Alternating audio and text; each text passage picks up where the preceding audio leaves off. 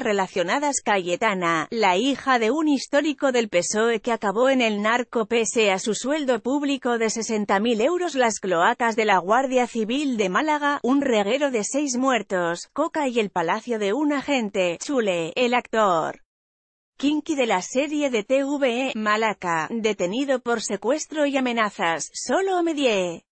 Como cada día, Dolores Martínez se dirigió a casa de sus vecinos, un matrimonio de octogenarios, para ver cómo estaban y para preguntar a Trini y a Pedro si necesitaban algo. Ellos eran como unos padres para mí porque les conozco desde hace 40 años. Les quería mucho, subraya esta vecina de la pedanía murciana de Sangonera la Seca mientras trata de contener las lágrimas para narrar a el español la trágica escena que se encontró este domingo en la casa de la pareja y que ahora investiga la Guardia Civil. Trini y Pedro aparecieron muertos en el interior de su vivienda. Ahora los agentes intentan esclarecer si los ancianos murieron de forma violenta o accidental. Iba a preguntarles si querían que les llevase medio pollo asado para comer. Pasaban unos minutos de las doce y media de este domingo cuando esta ama de casa, de 66 años, llegó a la puertecita roja metálica que hay en el lateral de la casa que tienen los ancianos en el número 114 de la calle Salcillo. He tocado a la persiana, pero no me han abierto y cuando me he apoyado en la manivela se ha abierto la puerta. La mujer entró y no le gustó nada lo que vio, había muchos cristales rotos por el patio y me salí corriendo porque he pensado que habían entrado a robar. Dolores Martínez pidió ayuda a otros vecinos que se ocuparon de llamar por teléfono a uno de los tres hijos del matrimonio, que es miembro de la Guardia Civil. De inmediato, una patrulla de la Benemérita se desplazó a Sangonera la Seca. Al llegar se adentraron en el inmueble, acompañados de María Ángeles García, otra amiga íntima de la pareja de octogenarios. Cuando he entrado al comedor todo estaba tirado por el suelo y se habían caído trozos de escayola del techo, tal y como detallaba horrorizada María Ángeles a este diario. Al ver toda la casa revuelta entré corriendo a la habitación de matrimonio, la luz estaba encendida, Pedro estaba en calzoncillos y con una camiseta interior, tirado sobre la cama. Su mujer, Trini, estaba en el suelo, vestida solo con un camisón. María Ángeles apenas pudo aguantar unos segundos dentro de la estancia, me salí de la impresión que me dio verles muertos. Las calles Escultor González Moreno y Salcillo fueron precintadas por los investigadores.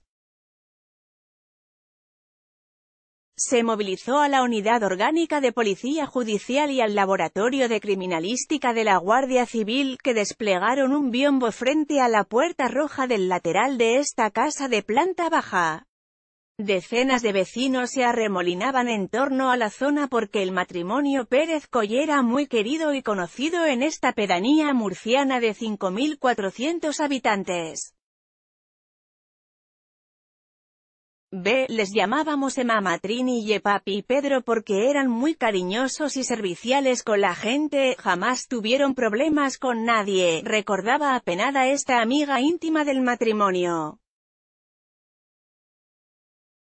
Naturales de Beniel La pareja era natural de Beniel. Hace más de medio siglo se instaló en la pedanía murciana de Sangonera la Seca, donde se compraron una casa para criar a sus tres hijos Pedro, Manolo y Antonio. Eran muy trabajadores, cuentan en la localidad. Trinidad Coix limpiaba casas en la capital. Su esposo, Pedro Pérez, fue chofer profesional, primero trabajó haciendo portes nacionales con camiones de la empresa Hispania y después comenzó a conducir autobuses. Se jubiló con la empresa Latbus.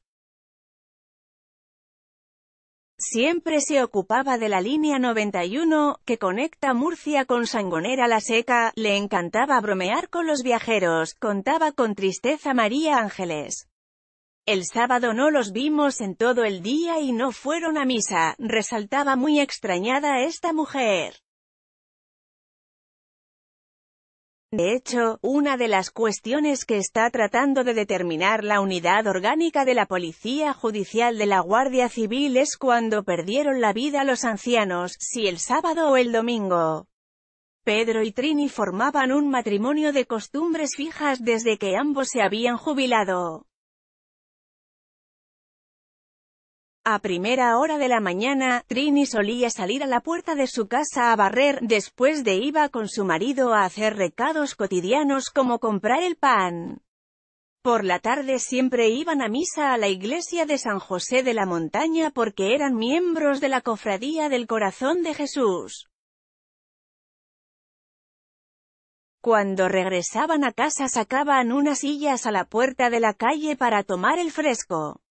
Nos poníamos a charlar, sacaban frutos secos, jugábamos al dominó o a las cartas, explicaron Dolores Martínez y María Ángeles García sobre los ratos que compartían a diario con Trini y Pedro.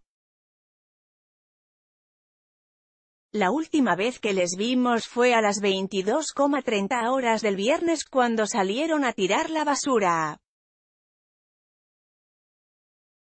Hubo una deflagración de gas. Fuentes de la delegación del gobierno de Murcia y de la Guardia Civil indicaron a este diario que durante la inspección de la casa se detectaron signos de que se había producido una deflagración de una bombona de gas butano. Los investigadores están trabajando para determinar si las heridas que presentaban los cuerpos de las víctimas eran compatibles con una explosión o fueron ocasionadas de forma violenta. E las mismas fuentes precisaron que, debido al estado en el que se encuentran los cuerpos no hay una hipótesis clara sobre si se trata una muerte violenta o accidental. La hipótesis de que Trini y Pedro murieron en el transcurso de un robo violento era la más repetida entre el vecindario. En la pedanía murciana de Sangonera la Seca en las dos últimas semanas se han producido cinco robos, en los que los asaltantes portaban armas de fuego y cuchillos. Han robado dos casas cerca del pabellón de deportes, un bar que hay frente a la base del Ejército del Aire, un pub y un restaurante de la carretera de Lorca, enumeraba Juan de Dios, vecino de los fallecidos en la calle Escultor González Moreno y quien antaño estuvo en las filas del tercio Don Juan de Austria de la Legión. Aquí vamos a tener que sacar las escopetas en la calle para combatir los palos a punta de pistola. Otra vecina clamaba indignada en el mismo sentido, están habiendo muchos robos porque no tenemos seguridad alguna. A lo largo de las distintas calles próximas al lugar de la tragedia se repetía una y otra vez la misma teoría de que el luctuoso final que corrieron Trini y Pedro fue violento. Mi hermano trabaja en la lonja de pescado y durante la pasada madrugada dice que escuchó ladrar a Tai, el perro del matrimonio, y unos golpes procedentes de la casa, aseguraba un hombre que reside en la calle Salcillo, a solo unos metros de distancia del inmueble de los ancianos que este domingo fue inspeccionado palmo a palmo, durante horas, por la Guardia Civil. Entre los residentes recordaban con cariño cómo era habitual que Pedro obsequiase a sus vecinos con limones y melocotones de los árboles que él mismo cultivaba en unas fincas agrícolas que tenía en la pedanía vecina del Puntarrón. Dejó de traernos fruta hace dos años después de sufrir una caída en el campo, detallaba María Ángeles.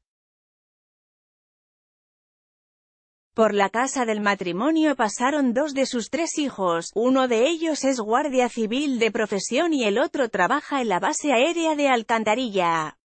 El único que no acudió al inmueble para informarse de lo sucedido fue el más problemático de la familia y que cuenta con antecedentes, según fuentes policiales, por hechos como quemar contenedores y tirar piedras desde el puente del túnel del barrio de San José Obrero de Alcantarilla a los conductores que circulaban por la autovía de El Palmar.